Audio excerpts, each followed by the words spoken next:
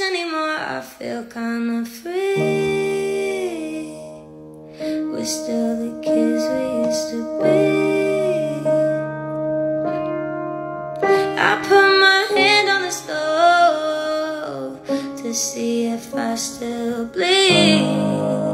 And nothing hurts anymore. I feel kinda free. We're still the kids we used to be.